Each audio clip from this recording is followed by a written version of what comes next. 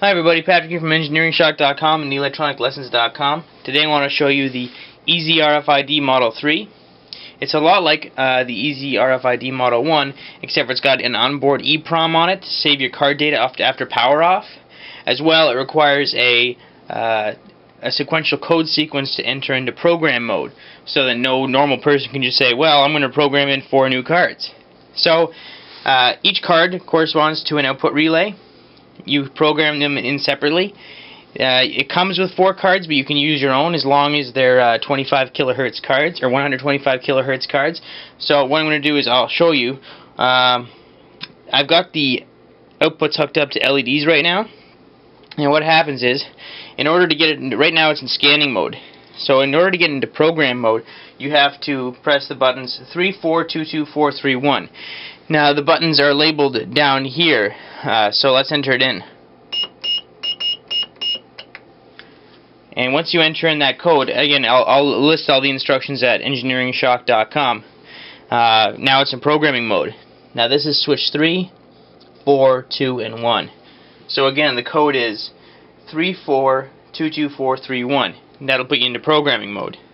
At which point, if we want uh, this this card to correspond with this relay, this to, this card to correspond with this one, this one with this one, this one with this one. Then what we do is first we press switch 3, pick up this card, bring it to the antenna, and when you hear that beep and see that LED uh, flash, you know it's programmed. So let's press switch 4.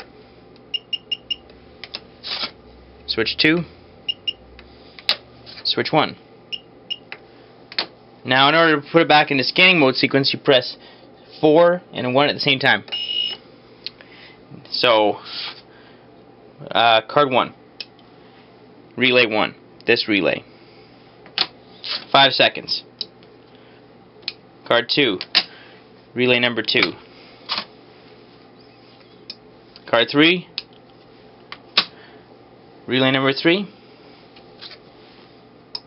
and card 4. Number 4. Now if you've got some other cards that haven't been programmed, they don't have to be cards, anything, any RFID tag or card that's 125 kilohertz should work.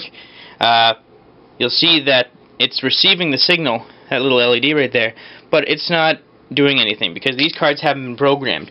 These cards are extremely unique. You can label them. You can have the outputs work differently.